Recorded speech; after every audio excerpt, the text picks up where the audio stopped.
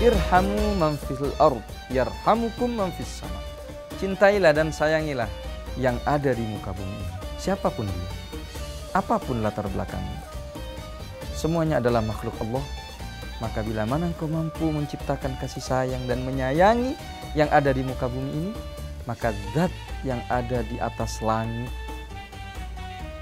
akan menyayangi.